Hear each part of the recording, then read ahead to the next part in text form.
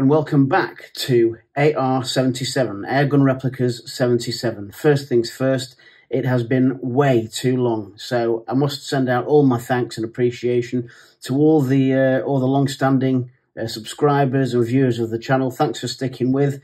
Uh, thanks for your shout outs and mentions in the comments. It's good to see actually that you're sort of chatting with each other in the comments section from time to time and, and passing on uh, knowledge and info and, and asking questions. That's that's really nice to see you know what it's like. We're all working folk. We don't always have the expendable cash to uh, to fork out on lovely things like air guns and so on and so forth. Um, I run this as a hobby, not as a as a business. But I kind of I felt like there was a bit of an itch I needed to scratch, and I've managed to get myself a couple of new pistols.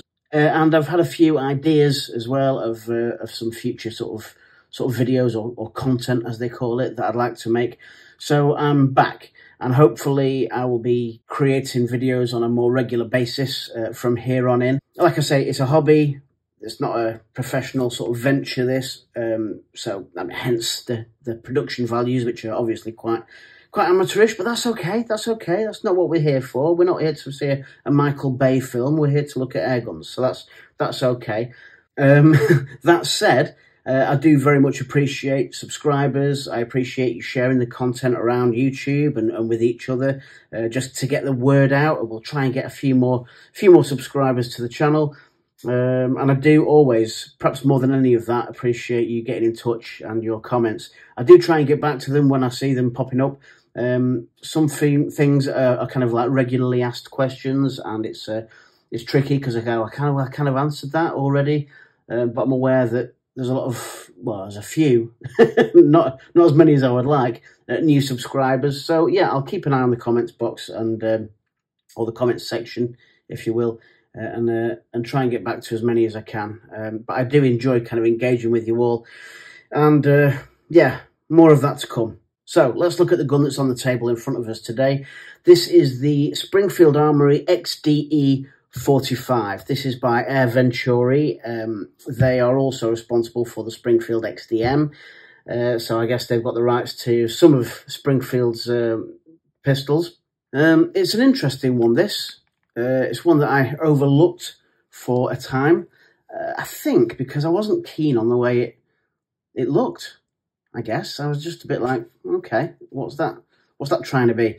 Um, in terms of the gun itself, as in the real steel, um, I think, again, this was a bit of a, an anomaly. Uh, this was a single stack, uh, but single action, double action pistol, um, which I think was a bit of a novelty. You can tell me, those of you with uh, with real firearms knowledge.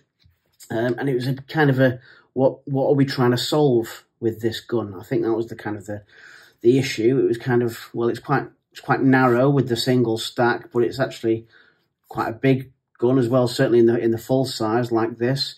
Um, why would you want both in this day and age? Some people probably thought, I don't know, maybe it was some people who just preferred the, the single double action option. Um, but I think it's discontinued now. So again, a good a good opportunity for us kind of replica collectors to get hold of something that is discontinued in the real world. And if you liked the look of this this pistol in its in its real world uh, version, then the air pistol is probably a good place to go if you if you're struggling to get hold of one because you get to feel it, you get to shoot it. Uh, apparently, it's a realistic weight. Uh, I'll put the um, the specs up just sort of here for you so you can see all the technical uh, elements to it. Uh, and it does feel, does feel like a chunky, a chunky gun. And perhaps, as I'll come to, a bit of a, what I might call a Marmite gun. I think you might love it or hate it. Um, having said that, I've got my own opinions on it, which I'll share with you, but in no way are they uh, expert opinions. Again, I'm an enthusiast, not an expert, uh, but hopefully this will inform you if you do look at buying one of these uh, one of these guns. So this actually in some ways is kind of reminiscent of a few other guns. It's got quite a high bore axis there at the rear. If we look at, uh, what else have we got on the table? If we look at my SIG SP 2022, you've got quite a high bore axis at, at the rear there. The uh, the slide sits quite high up there, uh, above above where your sort of your hand uh, grips the pistol.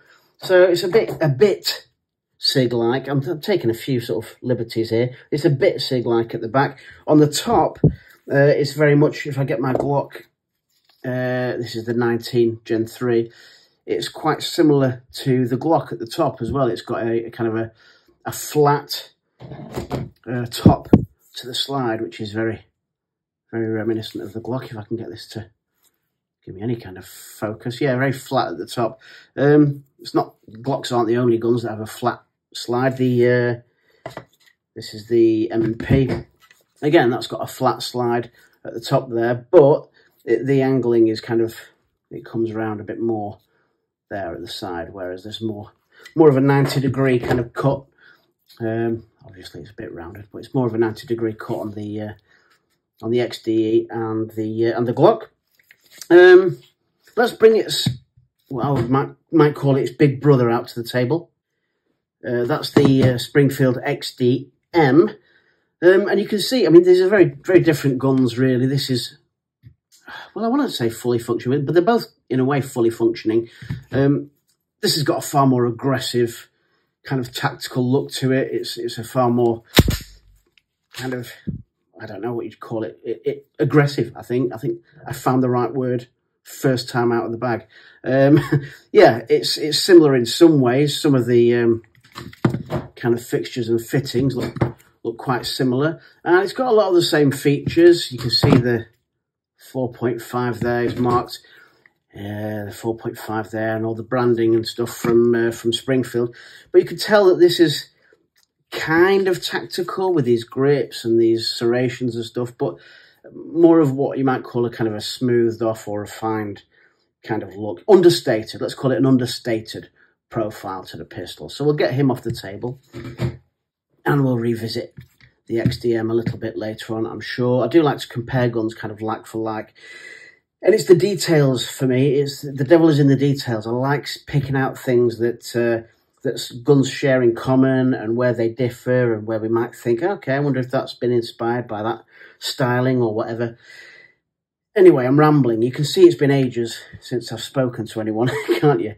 Uh, so it's all coming out now. Right, let's do a walk around of the Springfield Armory XDE 4.5. So 4.5 means it is the full length.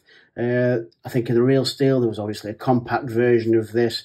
But this is the full size, full weight version of the pistol.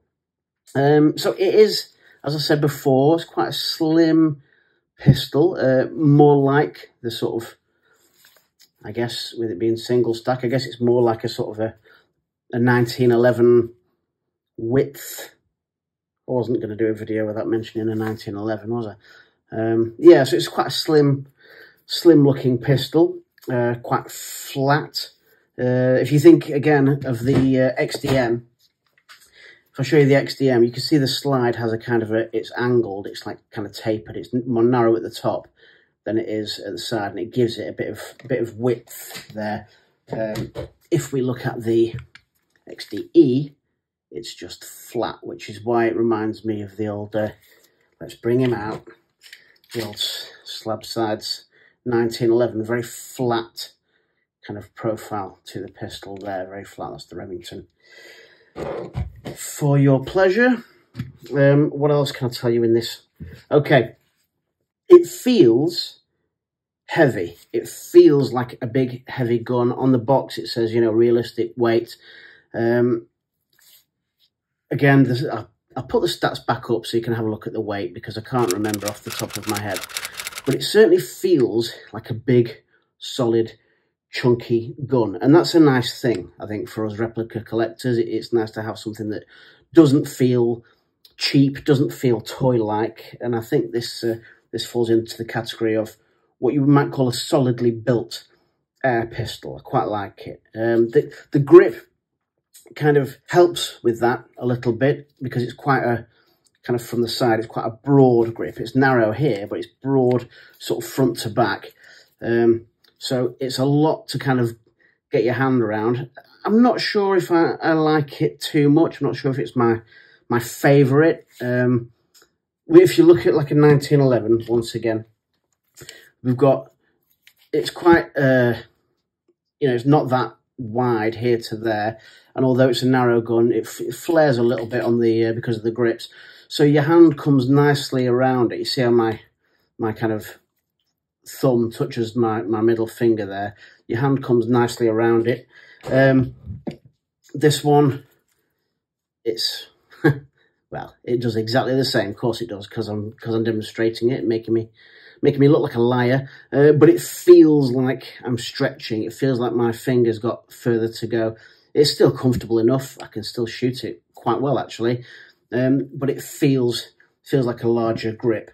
Uh, and I don't mind that, you know, I, I, just, I think I prefer, and again, this is a personal opinion, even on a larger handgun, uh, like the PT92 or sort of Beretta style guns, even on a larger gun, I still, I prefer a more rounded grip, I think, than a flat sort of deep grip. I'd rather have a more rounded grip.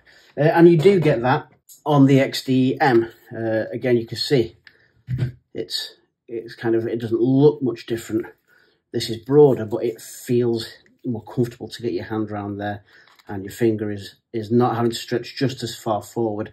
So if you've got tiny, tiny hands, you might struggle, but I think I think you'll be all right. My hands aren't enormous. I'd say they're kind of medium sized and I can get onto that quite comfortably.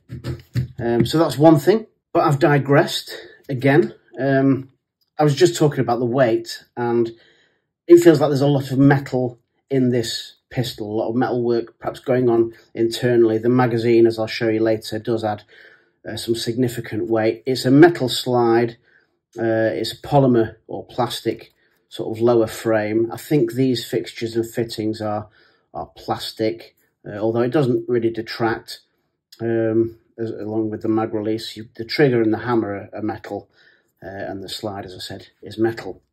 So let's go front to back. Let's do a proper walk round like, uh, like we know what we're doing, shall we? Here at the front of the gun, we've got a nice recessed barrel that sits nicely back in there so it doesn't look like a kind of a, a, a toy gun, if you will. It looks a little bit more realistic for the replica collector. Uh, we've got a nice fibre optic front sight, similar to what we have on the XDM, similar to what we have on the CZ75 SP-01 Shadow, which I don't happen to have on the table, but I have done a review on that. So that's that's a nice touch. Um, we've got these front slide serrations. They're they're pretty decent. They give you a nice nice amount of grip. Uh, if you uh, if you want to use those, pretend you're doing a slide check or whatever you want to do with that, or maybe you rack it from the front. Uh, that's entirely up to you. We've got a nice XDE etched kind of logo, tastefully done, um, with the 4.5 that I mentioned before. Uh, we've also got that nice, on the top of the slide, that nice kind of Springfield Armory uh, logo there, which I really like. I really like that. It's a nice touch, uh, which probably helps stop the sun reflecting and glaring into your eyes as well. So that's a double bonus. They've got one of those on the um, on the XDM as well, as you can see You can see which gun's been used a bit more. Um, but yeah, I do like that. I do like that little detail on the top of the gun there. Um, what else? Oh yeah, on the top of the slide we've got the um, loaded chamber indicator here. This is obviously uh, non-functioning on this particular gun. Is just a air gun, so we don't really, that doesn't get used. Uh, some air guns do. They have a, a, function for telling you that it's loaded, but in this case, that doesn't uh, that doesn't work. Uh, and we've got these, again, these serrations at the rear, which are good, nice to get hold of. If I just take the magazine out like that, they're uh, nice to get hold of and wrap the slide with. Um, yeah, fully, fully fit for purpose, I would say. At the other side, we've got more kind of tastefully, tastefully uh, etched um, markings, including you've got Springfield Armory here, USA, um, caliber information, actual caliber information there on the uh, on the on the port there, which is which is cut out. What's that called? Is that called a dust cover or something? Please let me know. I'll have to do a bit of research, but I'm I'm guessing one of you can be quicker uh, in leaving a comment that tells me what that's called. Um, and you've got your extractor there again, which is non non-functioning, but it's nice that it's there. It's nice that it's cut out and it's there on the slide. Uh, everything in its right place. Uh, we've got white dot sights at the rear, which are really nice. They give a very good sight picture along with... Oh, he picks the red one to demonstrate this. Uh, they give you a really nice sight picture along with that kind of fibre optic at the front there. Um, yeah, so it's, you know, there's, they've not kind of skimped on, on things like that. I get frustrated when you get a gun that should have white dots or something like that and they don't have it on. It just seems seems like a, a cost-saving exercise, really.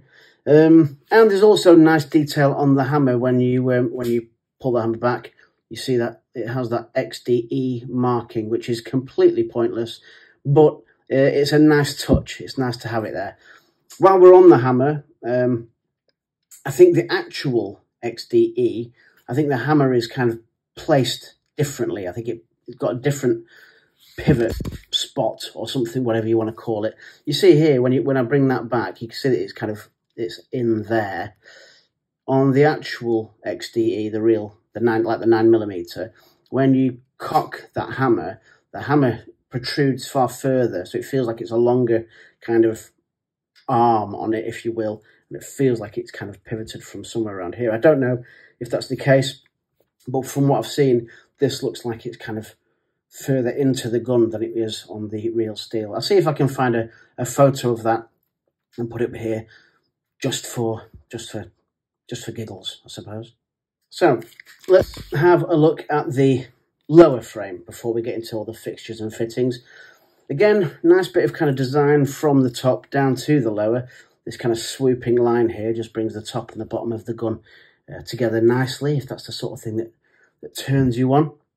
And then we have here SI Geneseo IL, uh, which is Springfield Incorporated, Geneseo, Illinois, which is the home of uh, Springfield Incorporated, or as far as I'm aware, uh, it's where this, this the home of this gun is. Uh, again, you can tell me you can tell me uh, the truth of that in the comments. Uh, slightly in uh, contradiction to what's written beneath it, made in Taiwan, which I figure uh, responds more to the air pistol itself. Um, on the other side, you've got the F there for the German market. Don't know what this S is.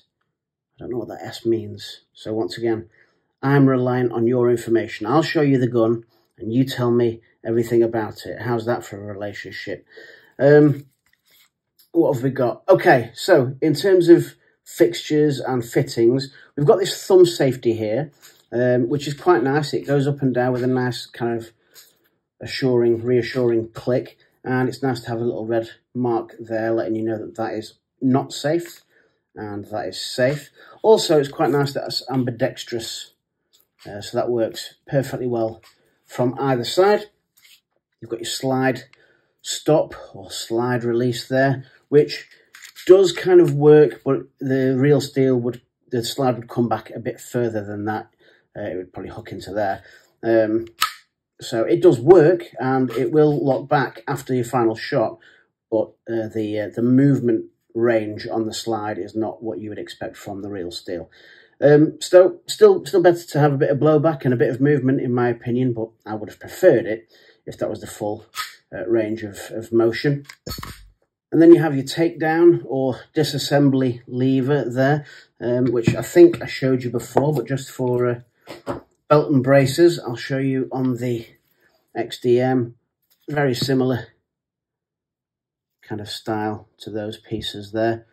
Um, it's inconsequential, I suppose, but just a feature that I wanted to point out. Then you have the um, kind of cutaway here, this little bit here, that is on the real on the real firearm you would wrap the slide back so that that was in line with the takedown lever and then that would allow you to move the takedown lever and bring the slide off um, as it does actually on the XDM let me show you that um, so on the XDM take the mag out of there I'm going to make a balls up of this I know it it's been ages okay so you slide that back and you line it up there and then once that's up there the slide comes off didn't make a balls up of it. Let me get back back on. Uh, oh, look at that. Like riding a bike. Beautiful. Do like that. Um, but that's not the case. Sorry to uh, burst that particular bubble. That's not the case here because obviously, as I said, the slide doesn't come back just that far. But nevertheless, it's, it's still got the uh, the mark there, which is which is good. I like that level of detail. And then you've got your accessory rail at the front here. Put a little torch or a laser or whatever you want to put on there. Um, the pins are all in the kind of correct places, how they'd be on the actual uh, actual real steel as well. So I always think that's quite a nice uh, a nice touch. The mag release. Let me put this magazine back in here. Um, again, spring loaded, which is a nice touch, and fully ambidextrous there as well. So again, uh, ambidextrous safety, ambidextrous mag release. I think that's quite good. I like that sort of stuff. Um, I'm right-handed, but it means that if you are left-handed, those important elements like your, your mag release and your safety are accessible uh, to you. So again, nice attention to detail. Uh, one final detail, I suppose, on the on the sort of lower bit of the frame is a nice bit of uh, finger groovage there on the front of the otherwise a quite a relatively smooth uh, trigger guard. As we move down to the grip, then again, there's that size thing. I don't know if it's maybe just me splitting hairs. It just feels like a funny shape. I mean, you've got your thumb rest there and everything. Like I say, I can access the trigger. It just feels a bit of a, a weird shape, but it has grown on me uh, since shooting the pistol. I have got used to how, how it feels, and uh, I'm better at shooting and it, getting get better accuracy actually, which probably means I'll be crap at shooting all the rest of my guns. But hey ho, that's uh, that's not much of a price to pay, I suppose. Just means more practice with the rest. Um, we've got more XDE branding uh, here on the on the grip, and that's both sides. Fairly decent plastic uh, on this on the kind of the lower frame, um, and quite a nice little grip pattern. Again, it feels like kind of grip grip tape. It's not particularly aggressive, but your hand isn't going anywhere when it's on that, that grip. And the mag plate here, fine. That's okay. It's nice that there is a mag plate on the bottom of there, so you can't see all the sort of the workings of the magazine. But I think if I put a picture up again for you just here, not, not my camera out of the way, I think it's a bit deeper on the airgun version than it is on the real steel or real polymer, as I perhaps should say uh, XDE, but again, not by very much, and it's a small price to pay just to have that uh, that covered mag. Um, as for the magazine, once again, it is spring-loaded, and I quite like that. It is nice and heavy. There's some real, real weight to that. Um, on the box, it says that the magazine holds 18 rounds, but in my experience, you can comfortably fit 20 rounds into these magazines without any jams or anything going wrong. So you've really got uh, a 20 round, uh, 20 round magazine there. It Takes 4.5 millimeter steel BBs. Put the gun down. You just um, pull the follower back, and fortunately, it does lock back into place there. And you load your BBs in from the top. Really straightforward. Very similar to the magazine on the uh, uh, Smith & Wesson, the M&P here. Again, similar sort of thing. You've got your covered base plate there. Uh, you can see very similar, very similar design to the magazines. Uh, you load it in from the top there. Um, let me put this one back out of the way. Um, these magazines, a bit of a double-edged sword, really. Uh, it's good that, you know, it holds the ammunition and the CO2. So if you've got a couple of magazines, you're going to be out there for far longer because while one CO2 is recovering, you're loading the other mag in and you know, you, you can you can be out there for quite some time. Um, you're going to have to reload both of them, obviously, um, but it's good. It's nice. I like like the fact that everything is in the magazine there. Um, the, the base plate is a bit, little bit flimsy, um, but I've not had an issue with it. It works quite well. You just unscrew that with the uh, provided kind of Allen key or hex key or whatever you want to call that. Um, pop your CO2 in. Can see the valve just there. Pierce the uh, pierce the CO2. No hisses. Uh, well, slight hiss just when I sort of breach the CO2, but then it locks up nice and tight and there's no noise, nothing being released. Um, so, you know, the magazine works. That's that's fine. but I'll perhaps uh, I'll perhaps tell you why I'm I'm less keen on this method as I am on other methods a bit later on in the video when we do some uh, some pros and cons. Okay, so let me bring the pistol back in here. Nice, nice little uh, crunch there when the mag goes in, and it does again add some significant weight to the pistol. Now this is a single action, double action pistol, as I said before, so you can fire it double action by just pulling the trigger and that will do all of the work for you. Or you can put this pistol into what is called single action, where you just pull the trigger back and it takes up a lot of that kind of, uh, ah, what's the word, travel, let's say. takes up a lot of that and you can pull the trigger that way. Obviously, because it's blowback, every time you pull the trigger and it blows back, it's ready to shoot again. Okay?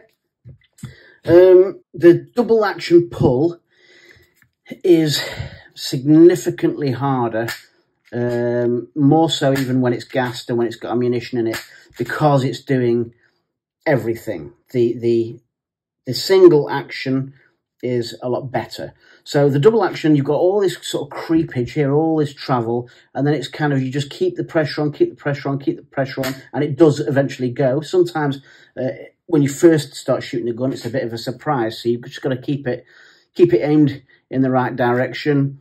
Just keep going, let it travel, let it go, go, go, go, go, go, go, and then it'll go. Um, when you come to the single action, you have to be careful because, uh, well, first of all, let me show you this. If we're in single action, you get there and you've got a nice clear wall. Really, really easy to get it to there without the trigger, without it breaking, without the, uh, the hammer kind of breaking. Get it there, and then just a few more bits of pressure and it goes. When it does that, this is one of the bugbears about this sort of magazine system.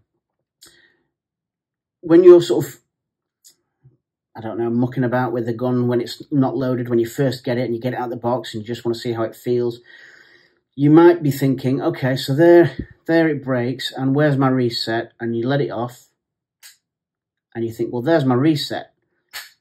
And that's great, because yeah, it does, it does reset and it does um, engage the hammer again. But actually, because of the mechanism inside the magazine and inside this gun, when you get it to that first reset here, all you're doing is resetting the CO2, essentially. So if you pull the trigger again there, you'll shoot some CO2 out of the gun, but you won't be releasing any ball bearings, okay? So when you shoot it like that, okay, I'll just do this again. You have to let it reset. There's your CO2, but then you have to let it go all the way to the front again so that when you pull the trigger, you are shooting an actual projectile and not just a bit of gas downrange. Hope that's clear, uh, and that's pretty much the same on all of those sorts of guns. The M&P um, BB version, the, uh, well, says there, the HK VP9, the Glock uh, 19X, all very, very similar in that regard. And I will say that the, the, the action generally does get better with use. The more I've fired this gun, the easier it's got to shoot, the easier it has become to shoot, even uh, in double action. So that's something to bear in mind. Don't panic straight out of the box. Make sure you're using your silicone oil and getting the bits lubed up that you can, um, you know, including things like the slide and stuff like that.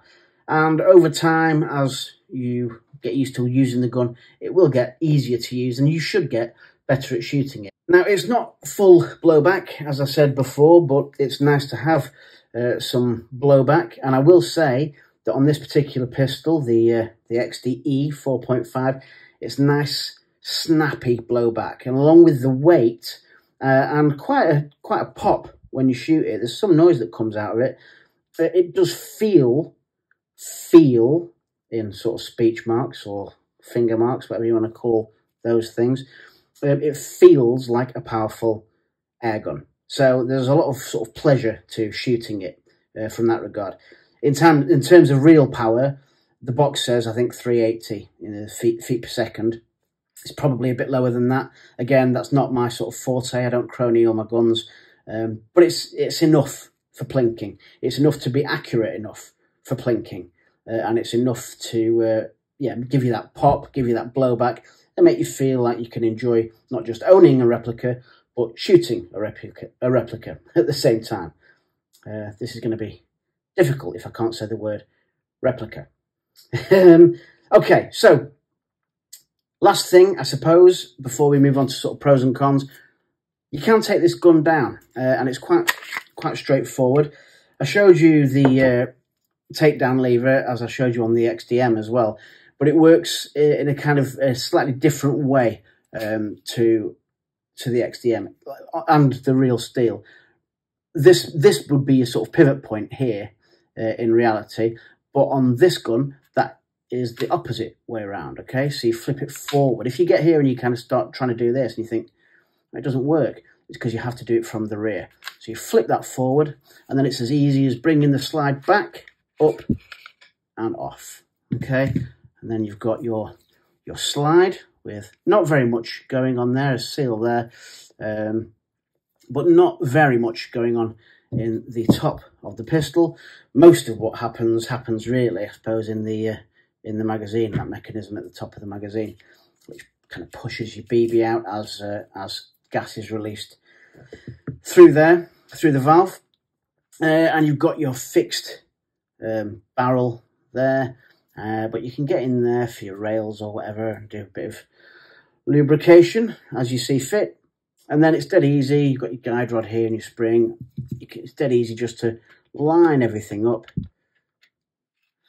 he says, and just pull it up and back over.